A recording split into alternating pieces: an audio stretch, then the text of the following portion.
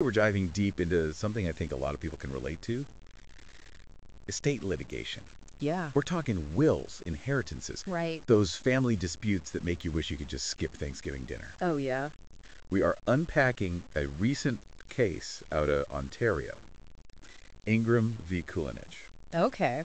And this one is interesting because it really throws a curveball when it comes to how much time you've got to sort these things out. It's wild how often inheritances, which seem like they should be straightforward, end up being anything but right. Right. You layer in family dynamics, maybe a couple long held grudges, Yeah. and suddenly you've got a recipe for for conflict that I think even the most well-written will can account for. Totally. And this case, Yeah. this case is a doozy because it really throws a wrench in the system when it comes to deadlines and what the courts consider too late. Okay. So before we get into the nitty gritty of Ingram v. Kulynych, so let's take a step back for a second. Sure. What are some of the most common reasons that people actually end up in court Yeah. battling it out over an estate? Right.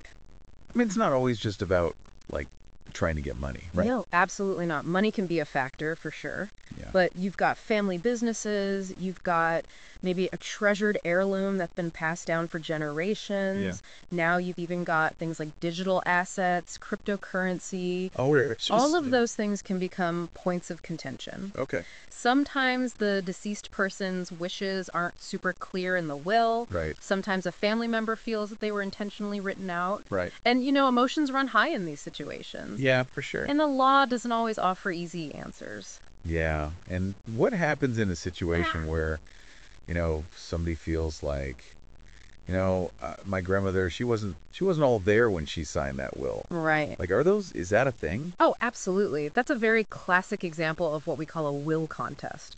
Okay. That's where someone challenges the validity of the will itself. okay. But you can also have disputes that erupt over how the estate is being handled. Okay. Maybe there are suspicions that the executor is dragging their feet, that they're not acting in everyone's best interest. Oh, wow. Okay. Or maybe it's even just about how the will is interpreted. Okay. Maybe there's some vague wording in there that sends everyone into a tizzy trying to figure out what it means. So there are a lot of ingredients that can turn an already kind of sad situation into this legal free for all. Oh, ah, that's right. But this case, Ingram v. Kulynych, Yeah. it seems like this one, especially when it comes to the timing of it all, throws a real wrench into the system. It really does. So let's dive into that. Okay. What's the backstory here? So we've got Kathleen Ingram and the estate of Henry Kulynych. Okay. They were in a common law relationship for almost 20 years, sharing a life, Yeah. supporting each other, the whole nine yards. But when Henry passed away in 2017, his will left everything to his children from a previous marriage. Oh, wow. And that's where things get a little bit sticky. I bet. Two decades together and then nothing. That's got to be rough. Yeah. And to make matters even more complicated, a significant portion of Henry's estate was their shared home in Ajax, Okay. valued at around half a million dollars. Wow. So it wasn't just about sentimental value, there were real financial stakes here too. Okay, so Missing is in a situation here where, I mean, I'm assuming she's feeling like she was dealt a pretty bad hand after 20 years. Yeah. So did she just accept this? Yeah. Like, what were her legal options at that point? So this is where Ontario's Trustee Act comes into play. Okay. And this is an important one, I think, for everyone listening to understand. Okay. This act sets out a very strict two year limitation period Okay. for filing certain types of claims against an estate. Okay. So you can think of this as a legal deadline. It exists to keep things moving, prevent these cases from dragging on for years. And that deadline, it's not flexible. So even though, so hold on. Even though Miss Ingram had been with this man for nearly two decades, because she didn't file a claim within two years, Right. the law basically says, like, too bad. Pretty much. That doesn't seem right. Well, it's not about what seems right or wrong, unfortunately. Yeah. It's about what the letter of the law says. Right. And that is what makes Ingram v. Kulynych so interesting. Okay. Okay, so two year window. Did she miss it? She did. Okay. Mr. Kulynych passed away in February of 2017. Right. Mrs. Ingram didn't formally file her claim until 2021. Wow, four years later. Okay, so what was the what was the thinking there? Was that a miscalculation or did they have another angle? So this is where things get interesting. Okay. Her legal team actually argued that a different law applied in this situation. Okay. The Real Property Limitations Act. And this Oh. one this one has a, a much more generous 10-year time limit. Okay, I see where you're going with this because a big part of this estate was that house that they shared. They're saying it's not just a claim against the will, it's her rights to real estate. Right. Exactly. Okay.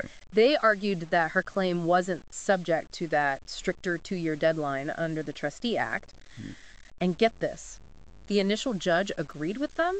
Uh, It looked like Mrs. Ingram might actually have a shot here, even though she was outside that initial two year window. So at that point, it seemed like the court was saying, yeah, we get it. This was a long relationship. She deserves some claim to this property. In a way, yes. But this is this is a legal roller coaster, remember? Right. The case went to the Court of Appeal, Okay. and that's where things took a bit of a turn. Uh oh. What happened at the Court of Appeal?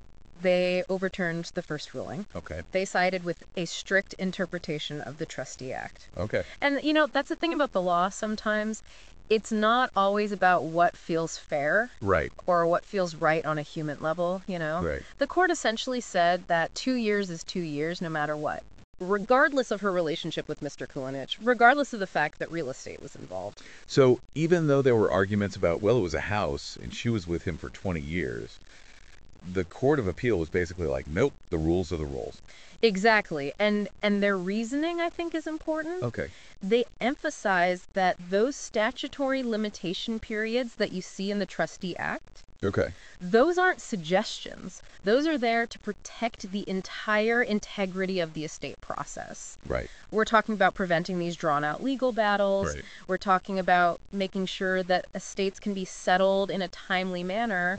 And frankly, just offering some closure to everybody that's involved. Yeah, because I can see how without those deadlines in place, it would just be a mess. Oh, absolutely. Like you would just have estates that are just in limbo for years and years. You'd have beneficiaries left in the lurch, not knowing what they're entitled to, Right. assets potentially losing value. Right. It would just be a legal nightmare. So these deadlines, while they might seem harsh, Yeah. they exist for a reason Right. to try to bring some order to what could be a very chaotic situation. So in, in Ms. Ingram's case, what the Court of Appeal decided meant that. It meant that despite their long relationship, despite the fact that there was significant value in that shared property, because her claim was filed outside of that two year window, that was it. It was done. Wow.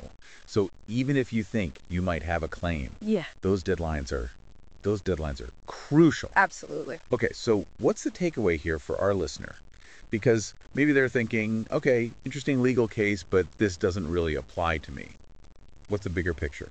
I think this case highlights something that's really important for all of us. Okay. The law and our own personal sense of what's right Right. don't always line up, especially when you're talking about matters of the heart. Right. And that sometimes waiting too long can have significant consequences. So what you're saying is it's not enough to just know the rules, you got to you got to act on them. That's right. Before it's too late. Yeah, and I think this case is a real wake-up call. Yeah. Because All right, well, until next time everyone, keep those questions coming and we will be here to dive deep into the issues that matter to you.